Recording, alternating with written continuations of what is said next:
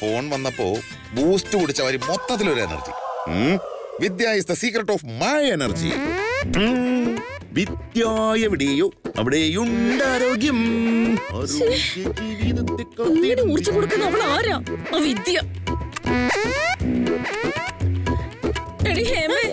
എല്ലാം കൈവിട്ട് പോവെന്ന് തോന്നുന്നത്. എന്താ സുഹിച്ച്? എന്താ പറ്റിയേ? പ്രേമേട്ടൻ പ്രേമേട്ടന് ഏതോ പ്രേമത്തിൽ വീണു. ഏ?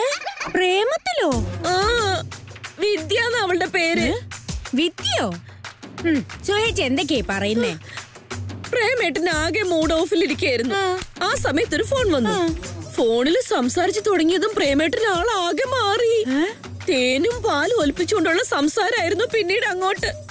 ഓ വിദ്യ എന്നുള്ള വെളിയുണ്ടല്ലോ. വിളിയുണ്ടല്ലോ അതൊന്ന് കേൾക്കണായിരുന്നു നീ.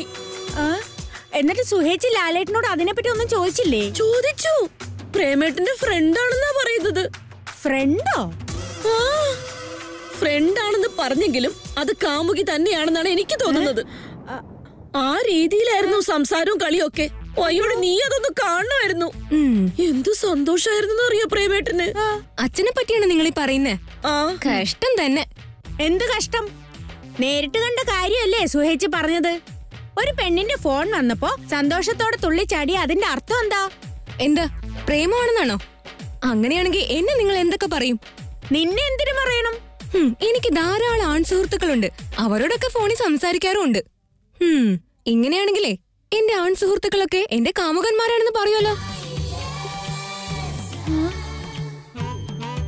എന്റെ അമ്മേ വല്യമ്മേ ഒരാണും പെണ്ണും ഒന്നിച്ചിരുന്നാലോ കുറെ നേരം സംസാരിച്ചാലോ അതിന് ആ ഒരു അർത്ഥം മാത്രമല്ല ഉള്ളത്. ആണിന് നല്ല പെൺ സുഹൃത്തുക്കൾ ഉണ്ടാവും നേരെ തിരിച്ചും ഉണ്ടാവും. അച്ഛനെ ഫോൺ വിളിച്ച ആ വിദ്യ. അച്ഛന്റെ നല്ല ഏതെങ്കിലും ഫ്രണ്ട് ആയിരിക്കും. അങ്ങനെ കണ്ടൂടെ? അതെ നിന്നേക്കാൾ കുറെ ഓണം അധികം ഉണ്ടവരാ ഞങ്ങൾ. കാള വാൽ പൊക്കുമ്പോഴേ ഞങ്ങൾക്ക് മനസ്സിലാവും അതെന്തിനാണെന്ന്. അതെ ലാലേട്ട് മോശക്കാരനൊന്നുമല്ല. അധികം വളഞ്ഞ വഴിയൊന്നും അറിയില്ല. അത് തന്നെയാണ് കുഴപ്പം. നിഷ്കളങ്കത കൂടുതലായാലേ പെട്ടെന്ന് പറ്റിക്കപ്പെടും. നിന്റെ അച്ഛനെ പറ്റിക്കാനേ വളരെ എളുപ്പമാ അതാ ഞങ്ങളുടെ പേടി. അതെ ഇല്ലാത്ത കഥയൊക്കെ പറഞ്ഞ് സെന്റിമെന്റ്സ് ഇറക്കിയ പ്രേമേട്ടൻ അതിൽ വീഴും. അതാ സ്വഭാവം. നിങ്ങളോട് പറഞ്ഞിട്ട് ഒരു കാര്യമില്ല നിങ്ങളൊക്കെ പഴയ കാലത്തിലാ ഇപ്പോഴും ജീവിക്കുന്നത് ഒന്ന് പോടി അവിടുന്ന്. അവളുടെ ഒരു ഉപദേശം.